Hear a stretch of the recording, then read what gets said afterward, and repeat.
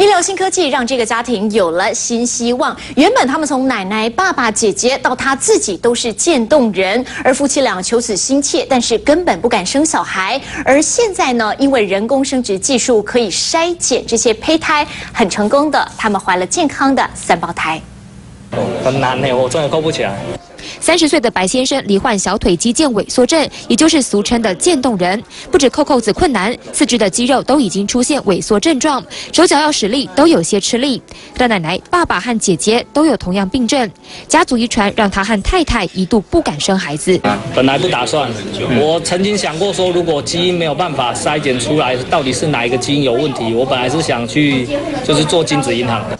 想要孩子却不敢生，白先生就怕三代都有渐冻病症，会让第四代也受苦。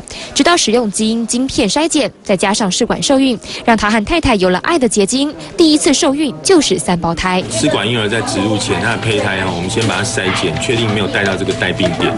白先生从小因为萎缩症遭同才排挤，让他一度对母亲不谅解。现在自己接受治疗，病情也稳定控制，在基因筛检下还能终结遗传的噩梦。